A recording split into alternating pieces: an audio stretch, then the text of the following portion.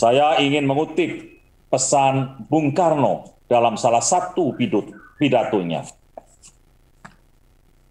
Beri aku seribu orang tua, niscaya akan kucabut semeru dari akarnya.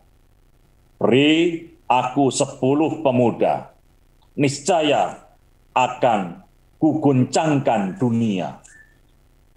Pesan ini menjeratkan begitu hebatnya peran generasi muda dalam membangun sebuah bangsa.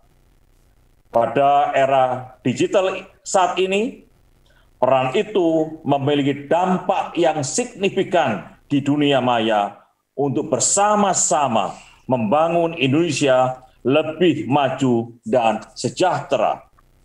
Saya berharap para peserta pelatihan ini dapat menjadi pelopor-pelopor perubahan saudara-saudara akan menciptakan komunitas-komunitas positif di dunia maya. Ingat bahwa para pejuang dahulu mengesampingkan perbedaan dan ego kesukuan, bersatu padu, dan bahkan mengorbankan jiwa raganya demi Indonesia merdeka.